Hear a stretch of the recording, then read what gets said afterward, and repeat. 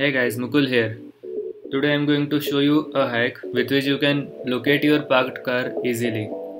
And it takes only a few seconds to use. So first up you will need to open Google Maps.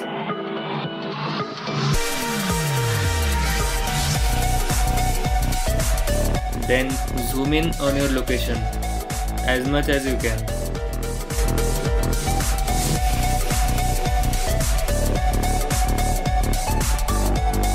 Then hold on your location and it will drop a pin. Click on the label.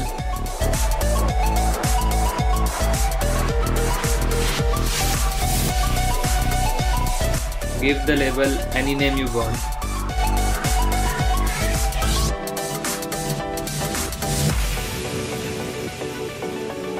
and that's pretty much it now you can move around and after you have done moving around.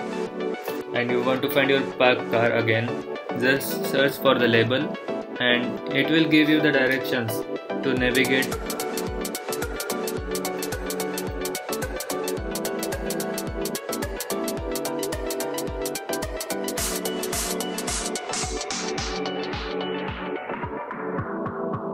And just like that you have located your car